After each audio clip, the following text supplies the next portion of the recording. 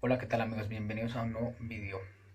Vamos a hacer un especial, bueno, vamos a hablar especialmente de la muerte de Titán. Eh, bueno, que no le salieron los planes, ¿no? Eh, vemos que ahí eh, hizo un super plano, secuestró a Eren y llamó a sus cómplices, bueno, ahí la dejaron un punto lejano a, Jamie, que se suponía, o no sé, diría que la gente espera como más acción, ¿no?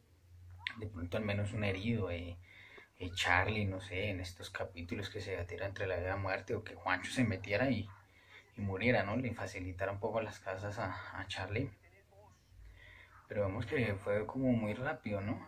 Vamos a ver qué, qué pasa en el, el, desenlace en estos capítulos finales.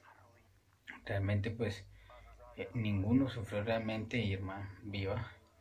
Eh, Eric, pues bueno, unos cuantos golpes y unas arrancadas por ahí de, de uñas, pero no pasó de más. Y Titano, bueno, que eh, al fin y al cabo pues no terminó matando a ninguno y terminó de un triste, ¿no? Tristemente pues, o bueno, no triste porque se lo merecía, pero realmente no cumplió ninguna de las metas que, que quería, ¿no? Ni matar a Jamie, ni Charlie, y bueno, realmente ninguna. Entonces, bueno, ¿Qué opinan ustedes? De pronto, ¿cuál fue la muerte más trágica? O si la muerte de Manín o, la muerte de, Titano, ¿no?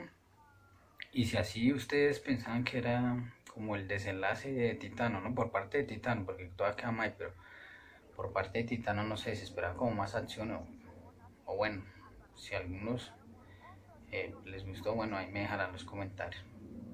Y bueno, esto ha sido como algo así de la muerte de Titano. Espero les haya gustado. Si es así, déjenme un like. No olviden mirar el resumen, capítulo 86.